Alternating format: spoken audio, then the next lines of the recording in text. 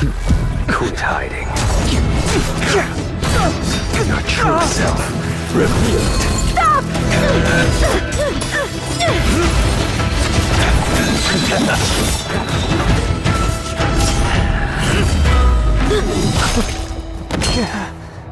You... I have news for you, boy. Behind you is none other the traitor of the Xianzhou. A criminal forever banished. The High Elder of the Vidyadhara.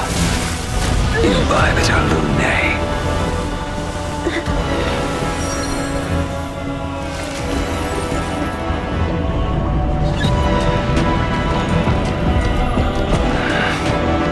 Really thought the Stellaron hunters were the only ones to infiltrate the Xianzhou?